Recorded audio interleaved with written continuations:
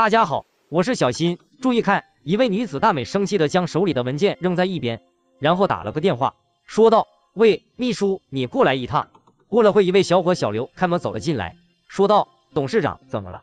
大美说道：“分公司那边什么情况？怎么一直在换保洁？”小刘说道：“听说那边保洁经常被侮辱。”大美生气的说道：“还有这种事？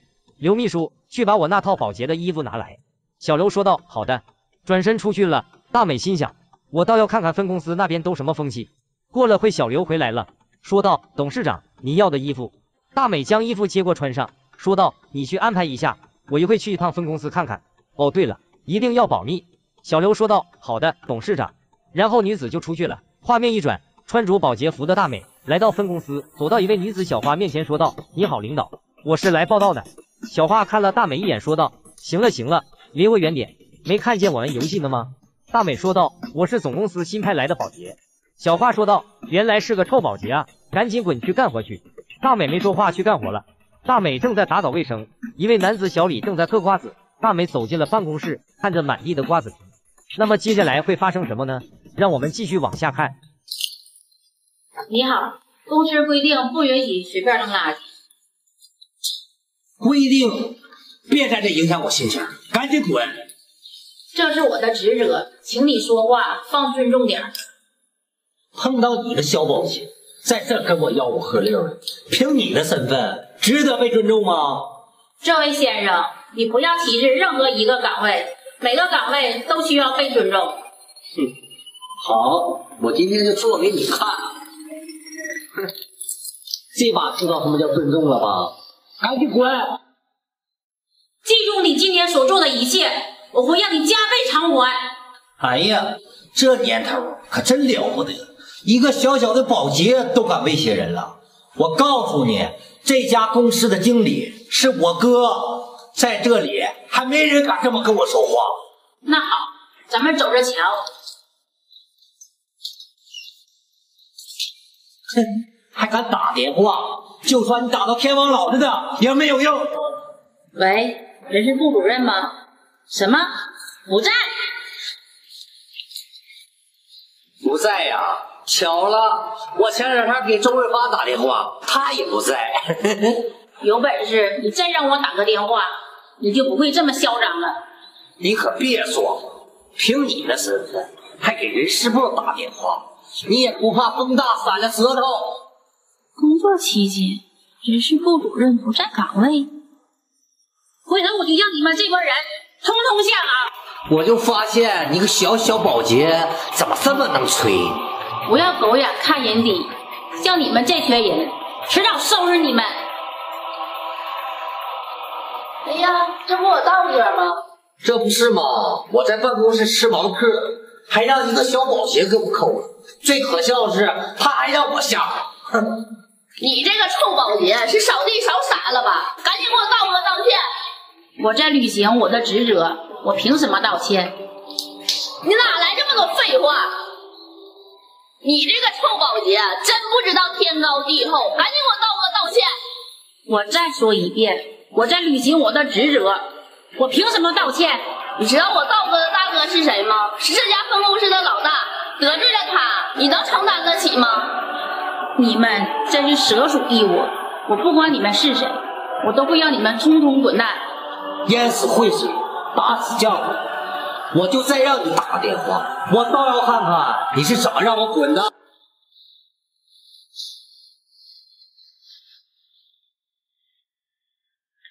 喂，刘秘书，我限你五分钟之内马上来分公司一趟。老板，你说什么？我听不见。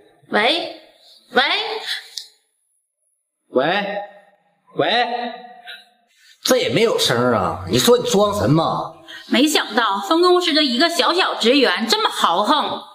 好，我会让你和你的大哥通通下岗。你个臭保洁，你以为你是董事长啊？还要开除我们？对，我就是宏宇公司的董事长。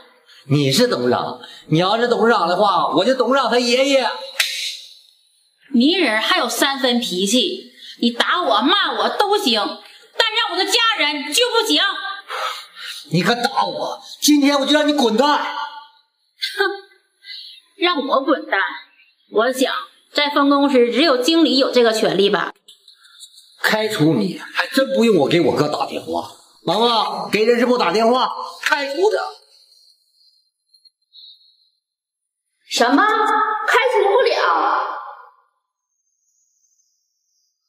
一会儿你就要滚蛋了。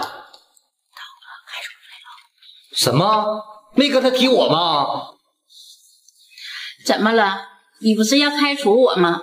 好，我现在就给我哥打电话，让他开除你。行，我今天就看看你到底是怎么开除我的。喂哥，我让公司保洁给我打了。什么？谁敢欺负我弟弟？我在办公室了，你赶紧过来给我出气吧。行，你就等着吧。好，你等着吧，等我哥来了，立马让你滚蛋。谁滚蛋还不一定呢。一会儿我们总经理来了，你可别害怕。那我们就拭目以待吧。我来公司这么久，第一次遇到你这么猖狂的保洁。我狂有我狂的资本，我倒要看看你有什么资本。哥，就是他，赶紧把他开除。董事长，哥，他他是董事长。我倒要看看你是怎么开除我的。不敢不敢，董事长。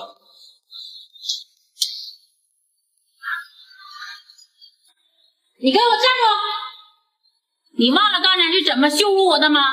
董事长，对不起，是我有眼无珠。把电话给我。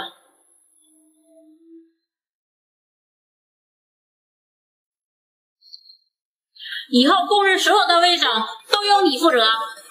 董事长，你消消气儿，看在我的面子上，你饶你一次吧。给你面子，你还是好好想想你自己吧。公司给你的一切，现在马上收回，你也从基层做起。董事长，我们知道错了，原谅我们这次吧。给你一次机会，我看不必了。记住了，以后不要狗眼看人低。你们今天的下场，都是为你们之前的所作所为买的单。